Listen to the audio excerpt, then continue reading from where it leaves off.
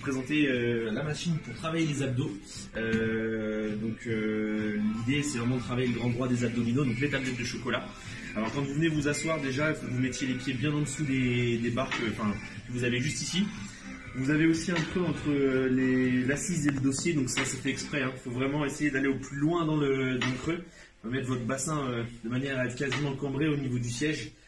C'est fait pour. Au niveau des charges euh, sur cette machine, n'hésitez pas à mettre un petit peu plus que ce que vous pensiez faire. Euh, donc euh, à partir au moins sur des 20 kg, voire même peut-être un petit peu plus. Pour ressentir, ce sera assez nécessaire.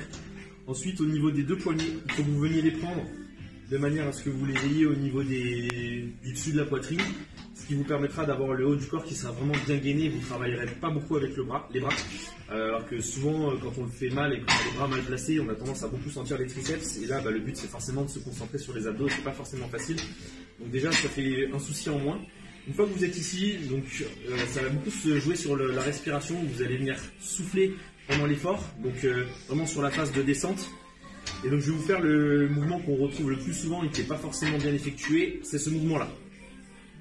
Voilà, celui-ci, donc c'est pas un mouvement qui est, intéressant, vous allez travailler beaucoup avec un mouvement de la hanche, un muscle de la hanche, euh, et qui est déjà hyper tendu et ça va pas être intéressant. Donc on va vraiment nous travailler le grand droit des abdominaux et on va carrément venir s'enrouler. Donc sur une, expiration, on va être ici, donc on a déjà la charge qui est sous, légèrement surélevée.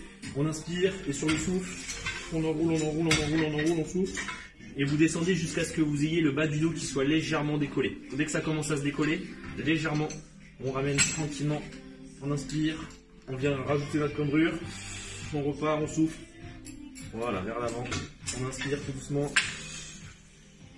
Il faut vraiment jouer sur la rentrée d'épaule, l'enroulement du menton, tout ça. Et vous allez voir après, ça va se faire tout seul. Vous respectez bien vos inspirations, expirations. Votre mouvement doit vraiment respecter voilà, votre expiration et votre relâché, vraiment respecter aussi votre inspiration. Euh, voilà, donc j'espère que cette vidéo euh, vous aura aidé un petit peu à corriger votre posture et à savoir comment on l'utilise. Voilà, merci.